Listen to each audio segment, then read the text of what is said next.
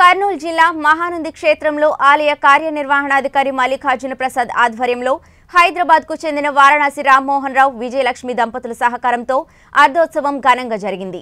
ఈ సందర్భంగా గణపతి పూజ పుణ్యాహవాచనము దీక్షాధారణ చేసి స్వామివారికి వివిధ ద్రవ్యాలతో మహాన్యాసపూర్వక ఏకాదశ రుద్రాభిషేకం చేశారు. అనంతరం రెండు వందల కేజీల అన్నంను భక్తి శ్రద్ధలతో మడిగా తయారు చేసి మహానందీశ్వర స్వామివారికి వివిధ శాంతి మంత్రాలు పఠిస్తూ అన్నాభిషేకం చేశారు. తదుపరి అన్న ప్రసాదాన్ని భక్తులకు అందించారు.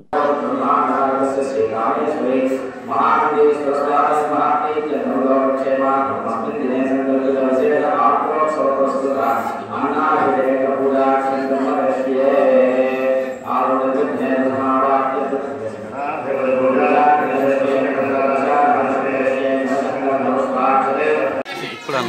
చెప్తానా అట్లే కొంచెం కదలాకుండా